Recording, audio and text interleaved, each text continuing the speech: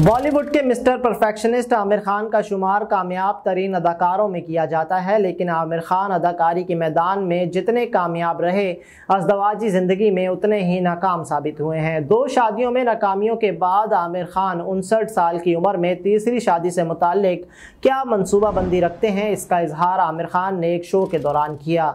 दौरान शो मेज़बान रिया चक्रवर्ती ने आमिर खान से अजदवाजी ज़िंदगी के हवाले से मशवरा तलब किया, जिस पर अदाकार ने हँसते हुए जवाब दिया कि मेरी दो शादियाँ नाकाम हो चुकी हैं, लिहाजा इस मशवरे के लिए मैं मुनासिब शख्स नहीं हूँ। आमिर खान का कहना था कि मुझे तनहा रहना पसंद नहीं, क्योंकि मुझे एक साथी की ज़रूरत है, मुझे दोस्ती पसंद है, मैं तनहा नहीं हूँ। मैं अपनी सबका बीवियों रीना और किरण के दोनों के बहुत करीब हूँ। मैं इन लोगों के साथ खुश हूँ जो मेरे करीब हैं।